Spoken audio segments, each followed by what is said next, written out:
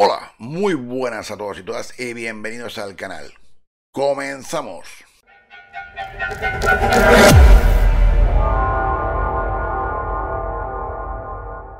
Pues hoy voy con uno de los ofertazos que he pillado en Amazon. Sí, bueno, el título de la portada ya sabéis exactamente de qué estoy hablando. Y sí, efectivamente, pues es John Wick 4 en edición de Estados Unidos que la verdad es que los de Amazon, como son unos cachondos, pues eh, nos han puesto a un precio, vamos, eh, reducido. De hecho, 8 eh, euros directamente.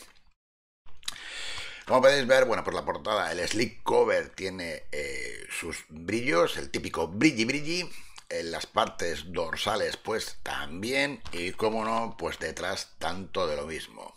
La verdad es que la portada está bastante, bastante currada. Y dentro pues encontramos el típico amarillo azul con exactamente lo mismo que en el slip cover. Y dentro pues como no pues tenemos el papelito con la copia digital y los dos discos, en este caso un DVD que es el rojo y un Blu-ray que es el de color azul. Bueno, ya sabéis que estos de Lionsgate pues aún siguen editando películas en Estados Unidos que llevan el Blu-ray más el DVD, como aquí todavía hay algunas en España, y eh, los 4K más el Blu-ray. Evidentemente, y ahora os hablaré de ello, el famoso 4K, que sí que hay diferencia, pero, pero, pero, pero, pero, pero, tampoco tan abismales como suele ser. En el caso de esta, ya os digo, el precio es eh, prácticamente insuperable, aunque bueno, sabiendo que Amazon está muy para allá, pues aún son capaces de bajarla más. Pero ya os digo que eh, muy, muy, muy, muy buen precio y es algo que a lo que uno no se ha podido resistir. Bueno, el tema de la película no os voy a decir mucha cosa porque tenéis el vídeo en el canal. Ya sabéis que yo me llevé una pequeña decepción porque, bueno, eh, la tercera dejó el nivel muy, muy alto. Y la cuarta, pues la verdad es que eh, hay momentos en que sigo pensando lo mismo, que hay ya una sobreexplotación. Que bueno, las tomas son muy buenas y 50.000 cosas más, pero, pero... Eh, de momento yo me sigo quedando con la tercera. Eso sí, también tengo que decir que, eh, vista a día de hoy, pues sí que le subiría la nota conforme a lo anterior. Dejando al margen esto, voy a hablar de lo que es la edición en sí. Y, eh, a ver, ya sabéis que hay muchos Blu-rays, muchos 4K, en este caso el Blu-ray, pero me atrevo a decir, aunque estamos ante, si no el mejor, eh, uno de los mejores Blu-rays editados mm, el año pasado, y no diría el año pasado, diría el año pasado, 2022, 2021 y posiblemente en 2020 también. El nivel de imagen es sencillamente espectacular, o sea, y me quedo corto, me quedo corto. Mira que os he hablado de películas como Zootropía, que ya sabéis, películas de Disney, bueno, no tiene nada que ver con esto porque aquello es animación, pero eh, cuando os hablo de las películas con eh, la infinita gama de eh, colores, y esta lo tiene. Mirar que ya John Wick 3 tenía mucho colorido, o sea, era brutal, pero esta lo lleva a un nivel superior ya.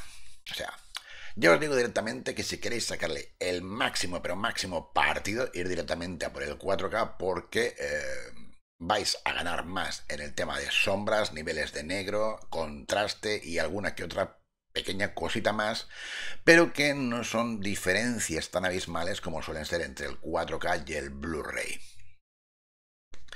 Pero vamos, a nivel imagen, desde luego es el típico disco demo, tal cual. Es... Mm, es que no se puede explicar. Eh, tenéis que verlo por vosotros mismos. Es absolutamente sorprendente. Y en el tema del audio, bueno, pues que ya sabéis que esto es la copia de Estados Unidos, pues eh, no hay castellano.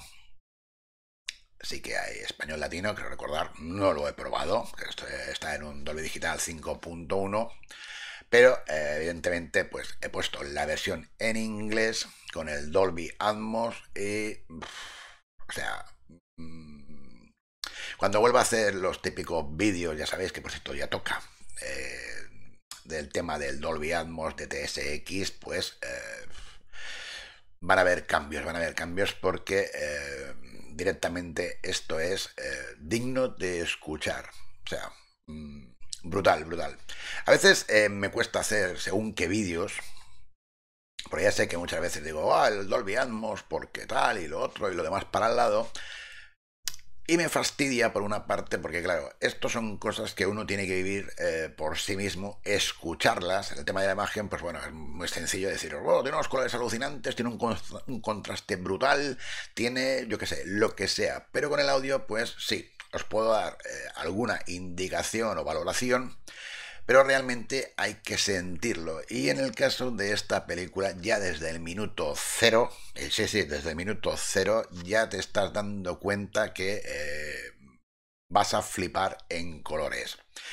Si recordáis la película, eh, bueno, la primera imagen sale del señor Finsburne, bueno, un golpe, un golpe que es el señor John Wick golpeando un palito de estos, de, bueno, un palito, un palazo de estos de entrenamiento y créanme que eh, os va a doler en el pecho directamente. Es impresionante eh, la calidad de sonido que tiene este Blu-ray. Aquí la mezcla en Dolby Atmos de verdad que es eh, digna, digna de escuchar. Ya me llevé una sorpresa en uno que no he hecho aún la review, que fue Godzilla vs. Kong, que desde luego es una de las mejores mezclas en Dolby Atmos que he escuchado yo desde hace bastante tiempo, pero esta dejarla correr porque ya os digo que es realmente brutal. Eh, si recordáis la película, el plano cenital donde John Wick desde arriba eh, especie de laberinto, pegando tiros a diestro y siniestro, pues los que tengáis el Dolby Atmos, de verdad que lo vais a disfrutar, pero a base bien. Pero ya no solo eso, es prácticamente toda la película multitud de efectos, la música, todo. Todo está hecho en una conjunción, conjunción, no, conjunción perfecta. O sea, tremendo. Y bueno, el tema de los extras, pues ya os digo que tiene muchísimos extras. O sea, aquí tampoco vais a quedar decepcionados. Tiene, pero bastantes, bastantes, bastantes. Incluido, pues como no, los típicas featurettes, eh, dividido todo en secciones y aparte, pues eh, creo recordar que incluso hay dos trailers. En definitiva, eh, para mí esta sería lamentablemente no de España, porque ya sabéis que en España no está disponible, eh, a no ser de que los señores de Divisa pues al final la acaben sacando, esperemos que sí, imagino que harán todo lo posible, pero, ah bueno, perdón, eh, recordar que como no, siendo de Lionsgate, pues tiene subtítulos en español, latino, pero bueno, prácticamente castellano y deciros que viene bloqueada de región. O sea, ya sabéis que desde hace bastantes años, por los señores de Lionsgate, creo recuerdo a partir del 2012, 15, algo así, no recuerdo bien, sí que estaban bloqueadas de región. Antes, aunque lo pusiese, pues las podías poner, no había ningún problema. O sea, sí venía el logotipo de la A o el 1, pero eh, no pasaba nada. Pero ya hace años que sí, vienen bloqueadas de región por lo cual, pues si no tenéis un reproductor eh, multizona o bien tenéis directamente un reproductor americano, pues lamentablemente no la vais a poder ver. Pero bueno, es lo que hay. Ya digo que imagino que eh, los señores de Divisa acabarán sacándola en España. Dudo mucho que un caramelito como este no lo saquen. Y más eh, sabiendo las buenas ventas que han tenido de la primera. Pero bueno, lo que os decía ya para finalizar, que evidentemente estoy ante, aunque no sea en España, una de las mejores, por no decir la mejor edición en Blu-ray. O sea, nos da lo que tiene que ser realmente un Blu-ray. Y esperamos que cuando aparezca la quinta, y ya sabéis que seguro que aparece, pues eh, nos lo vuelvan a hacer directamente. Bueno, a vosotros os gustó la película, no os gustó, la podéis dejar en la caja de comentarios. Y, ah, bueno, algo que no suelo hacer, pero esta vez lo voy a hacer, porque también compré otra película, en este caso la compré en CES.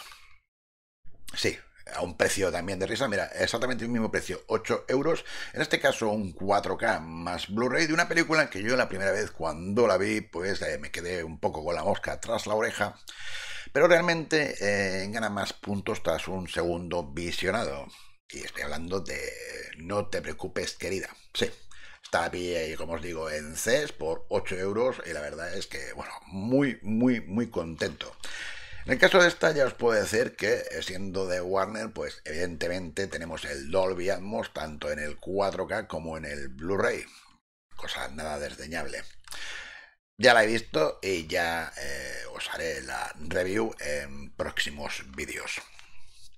Pues bueno, hasta aquí el programa de hoy. Si te gustó, ya sabes, le puedes dar al like o no. Te puedes suscribir al canal. Te puedes hacer miembro del canal. Y nos vemos en el siguiente vídeo. Hasta luego.